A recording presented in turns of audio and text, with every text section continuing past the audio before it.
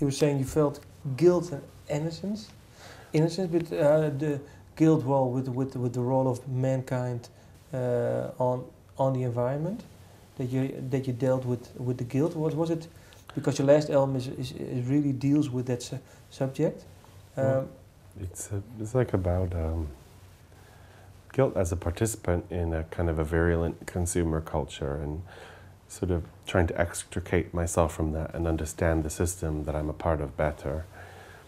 Um,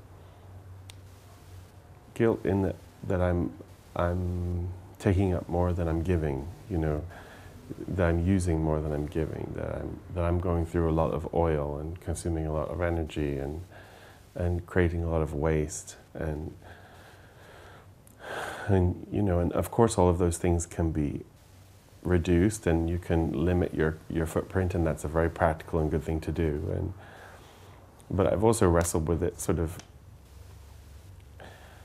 just in in trying to in trying to get a handle on on the question of where am I and what's my responsibility to this place, which is a question that a lot of artists ask themselves. You know, who am I? Where am I? you know, basic existential questions. You know, I've had to move through. I've had to. I've spent a lot of time kind of wrestling with that idea of that. You know, how can I be innocent when I'm when I'm participating in such a destructive event? You know, when I'm participating as a as a privileged person, as someone of particular privilege, as a, of someone of economic privilege, globally speaking, how where how, where's my childlike innocence when I'm when I'm behaving in this way? You know, uh, what will people in hundred years think of me? You know, for taking this airplane, what will people in hundred years think of me for for producing these plastic products? will they think of me as innocent or will they think of me as in denial?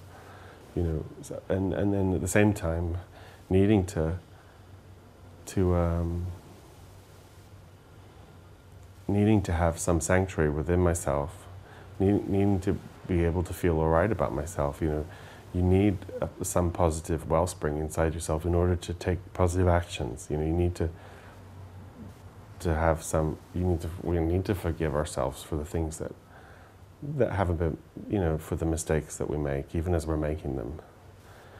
So I'm just wrestling on an individual level with questions that probably everyone on some level or other is wrestling with as participants in the consumer culture today and participants in society today. You know, when we're faced with this, this evolving flood of information that, that we're having this really detrimental effect on our climate and our environment, and that in 70 to 90 years the temperature is going to three, be three and a half degrees hotter Celsius, and that will mean the end of the forest systems, and that will mean the rising of the ocean by six or seven feet. And that's a consensus among scientists at this point. That's not a fantastical projection. That's what all the scientists are saying, almost all of them and um, and that's what the some of the cities are even preparing for, you know. But it seems very primary to my experience as an artist. It seems like the, the material that I'm being asked to deal with. But how do you deal it, with it now nowadays? And because you take the plane, because you are part of the envi- uh, part of the system, um, how you've asked yourself some questions. How will people uh, well, remember me within 100 years by taking the plane. Have you, can you answer these questions for yourself now? Or are you still struggling? Yeah, the work is a, is, a, is a, this work and this album and this book in particular is a record of my process in this, in this area. It's a record of me asking these questions, and it's a record of where I am in my evolution and I put it forward in hopes that it's useful to other people in their process, you know, that, or at least people can recognize themselves within it, or on some level. Maybe they're not going through this. Maybe people have a more, much more positive spin on it, you know, and I know some artists that do have a much more positive spin on it. And it's not that I feel without hope, although there is, there are like, there is a kind of a pretty there is an undertow occasionally of hopelessness on this record, which has been difficult to put forward has been a challenge for me to put forward because I've never really put that forward before. But at the same time, I think it's it was important again that I make a record of it.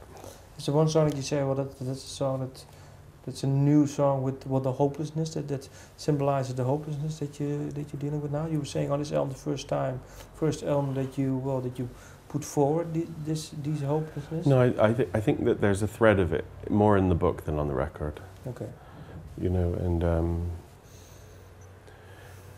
but it's about sitting with feelings and moving through feelings. You know, it was the same when I did that song "Another World." You know, it's it's the same body of work in a way. You know, it's it's about sitting with feelings and moving through them. You know, every feeling passes, and um, it's a feeling, not a fact. You know, we're not without hope, and that's that's obvious, or at least I hope it's obvious.